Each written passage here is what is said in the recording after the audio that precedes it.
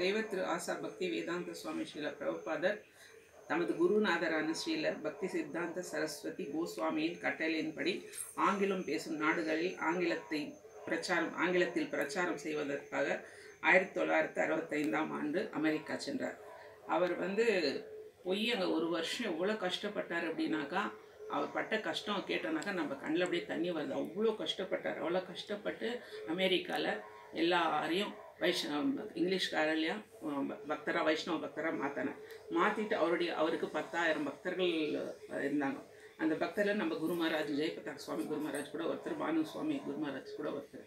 நம்ம குரு மகாராஜ் வந்து மாயாபுரை நீ இதை இம்ப்ரூவ் பண்ணி நல்லா பெ- பெரிய இதை பார்க்க மாற்றணும் இஸ்கான் சிட்டி அப்படின்னு சொன்னாக்கா அந்த கட்டளையே குரு மகாராஜ் நடத்தி செஞ்சுன்னு வர்றார். அது மட்டும் இல்லை பிரபாத் எண்பதுக்கு மேலே அவருடைய புத்தகங்கள் எழுதியிருக்கிறார். நமக்கு பிரபாத் யாருன்னாக்கா அவருடைய இன்டர்நேஷ்னல் கிருஷ்ணா கான்ஷியஸ் சொசைட்டியா பவுண்டர் ஆச்சாரியா அவர். அந்த அவருடைய இல்லாக்கிட்டே இஸ்கானே இல்லை. அவருடைய கருணையால் தான் நமக்கு இன்றைக்கி கிருஷ்ண பக்தின்றது கிடச்சிருக்குது.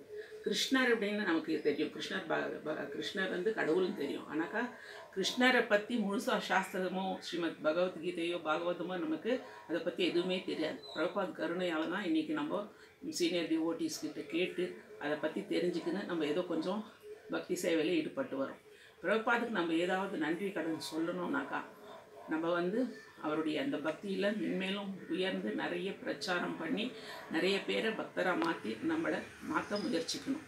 அது ஒன்று தான் நம்ம பிரபாதுக்கு செலுத்துகிற நன்றி கடன் அதனால் பிரபாத் வந்து எண்பது புக்குங்க எழுதியிருக்கிறார். அந்த ஒவ்வொரு புக் புக்கும் ஒரு ஒரு பொக்கிஷம். அந்த இன்றைக்கும் அவர் அவர் அந்த புக்கு மூலமாக சிக்ஷா குருவாக இருக்கிறார். அந்த புக்குங்களை படித்தாக்க போதும் நமக்கு பக்தி எப்படி பண்ணணும் என்ன செய்யணுன்றது தெரிஞ்சிடும். அதனால் பிரபாதை வந்து நம்ம நம்ம பிரபாதுக்கு சொல்கிற மாதிரி எந்த தகுதியும் நமக்கு கிடையாது. இருந்தாலும் ஏதோ கொஞ்சம் தெரிஞ்ச விஷயத்த நான் சொல்லிட்டு இருக்கிறேன்.